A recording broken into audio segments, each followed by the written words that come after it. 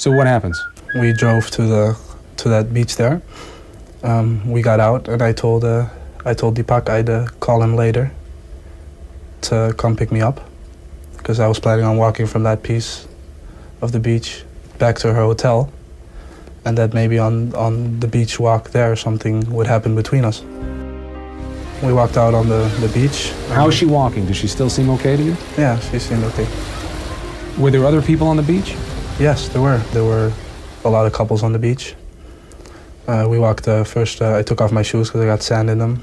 We walked right up to the water, and uh, first we sat down there a while, uh, talking and kissing, and then I asked her if she wanted to go back to her hotel. Uh, she said no. She wanted to walk the other way, so the north to the towards the north side of the island. And during that walk, there was one other couple that walked by, and so we walked a while till we got about right to the fishermen's huts, and uh, we uh, sat down again in the sand, and uh, we we kissed, we made out, and yeah. Greg, what do you got? Yeah, so I'm going to take the approach in this one to treat this guy like somebody I have to interrogate and figure out where I'd focus. And when we talk about interrogation, a lot of interrogation time is spent on micro interview, meaning I look for a baseline, I see a blip, I forget about everything except the blip. I open, I go to interview until I see another blip, and repeat, repeat, repeat until I get to the problem. We don't see Chris do that here. Chris Cuomo do that here because when he says the uh that beach, he closes his eyes and eye blocks. There may be nothing there, but if you leave that unturned, you'll never know. So I'd say, hold on a second. That beach there, uh, what? Let's follow through and understand why he's being nondescript here when he was very descriptive in the last video.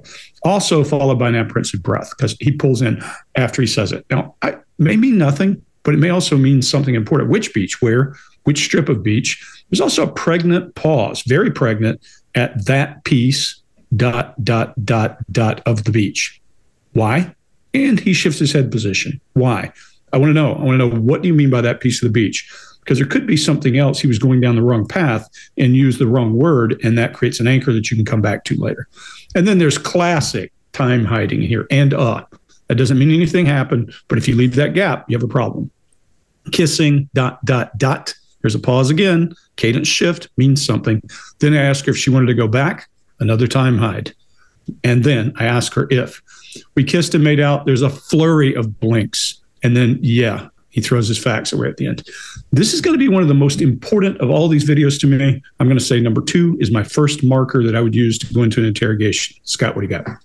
All right. To me, everything's fine until it gets to that part about one of the couple that walked by, because we hear and so he starts that stuff, and this is new. There are lots of ands. So he's creating time, and this might be. I, I got the feeling when I first saw this, this is probably where things really happen right there, where where things might have gone sideways for him, or the if he did, yeah, I'm pretty. Uh, if he did kill her, I'd say that's that's uh, right in that area there, right in that time frame there.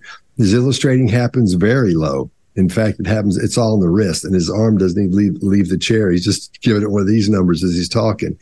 Um, and I think what we're seeing, by the way he sounds, and the way his sentence structure is, and the, these long pauses in there. I know he's what is he? He's Dutch, is that right? Mm-hmm. Yeah, so he's speaking English, but he's Dutch, so that could play into a little bit there. But it sounds like he's walking on eggshells. So he's paying attention to everything he says, not just word for word pronunciation, those kind of things. I mean, he's he's paying attention to what he's saying as a whole because he knows he has to be careful in here because right now he thinks everything's fine. He thinks he's gotten away with it. So all he has to do is just make sure he keeps walking down that that that little that walking the tightrope the way he should be walking it. So after he talks about making out with her, he's get we see that heavy eye flutter, and then he very quickly says, "And yeah, real quick like that." That lets us know there's an issue there. So I think something must have happened in this little this little section here, this question down at the beach. I think that that might be where things uh, started happening. Mark, what do you got? Yeah. Uh, she said she wanted to walk the other way. So we've got somebody here who wants to go 180 degrees in the opposite direction to the way that she should be going.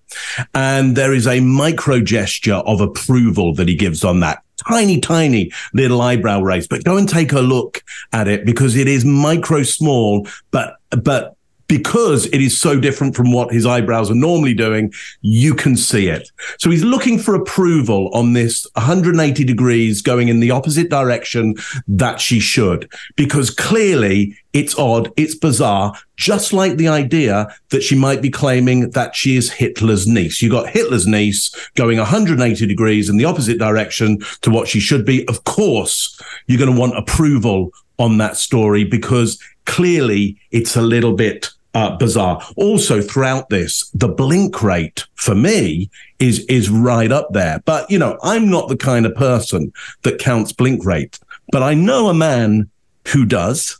Uh, Chase, blink rate. What did what did you think? I hope you have a number. Don't disappoint me. I didn't count in this one. I'm you. I'm you.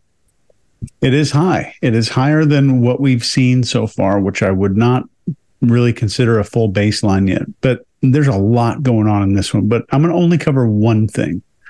There's one thing that I continuously teach when it comes to uh, reading behavior look for what's missing, and then look for what's different. So, what's different? What's missing? I would probably do it in that order. The one statement that's vastly different from all the others here is when he's detailing their walk over to the fishermen's huts. And when he says, We kissed, we made out and. The only person I know who finishes a sentence with and is Greg. Like every video, I think.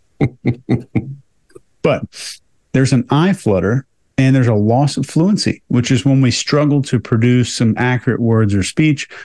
And these are occurring through uh, though at the moment, we're seeing the sharp increase in self regulation. He's locked himself down, Greg, to your point, I think, or unless it was Scott said that. And there's information missing. And the eye flutter is something we see when somebody's computer processor or what we would call cognitive load increases to some high level. And pretty often we see this when we're processing lots of information in our heads but sometimes you'll see it in response to someone trying to clear disturbing thoughts or memories that are coming up at that precise moment as they're telling a story. This is a red flag here because it meets the criteria for a red flag, according to me, which means there's a higher potential for it to be deceptive. So there are five C's I'm going to teach you right now. This is the time pull out your pen to determine if something is a red flag or not in my book. And they're listed uh, here and not in order of priority. I'll give them in, in order of priority a little bit later, and you'll see why. So, change, checklist, which are just these common behaviors associated with deception or stress, context, the behavior occurs in response to some stimulus, cluster, and it occurred in a group of behaviors that also indicate stress. So those are four of the five C's. In the next video, I'll give you number five. The eyewitness is you. So what happens? We drove to the to that beach there.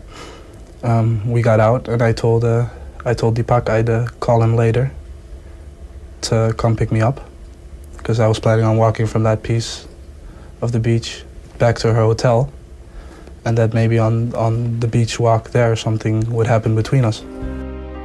We walked out on the, the beach. How is she walking? Does she still seem okay to you? Yeah, she seemed okay. Were there other people on the beach? Yes, there were. There were a lot of couples on the beach. Uh, we walked uh, first, uh, I took off my shoes because I got sand in them. We walked right up to the water. And uh, first we sat down there a while uh, talking and kissing. And then I asked her if she wanted to go back to her hotel. She said no, she wanted to walk the other way, so the north to the, towards the north side of the island. And uh, during that walk, there was one other couple that walked by, and uh, so we walked a while till we got about right to the fishermen's huts, and uh, we uh, sat down again in the sand, and uh, we we kissed, we made out, and yeah. Hey, sorry, uh, it's storming real bad, so I may lose everybody. It's, so Hattie's scared to death, so she's sitting up here. That's what I'm doing. I'm going to see at some point if I can get Hattie's ears on my head. That's funny. Yeah. Hey, Chase, you know what's funny? My notes actually have exactly what you said. We, he says, when he's doing that piece. if you like this video, get the full body language breakdown and analysis on our main channel by clicking this video right here.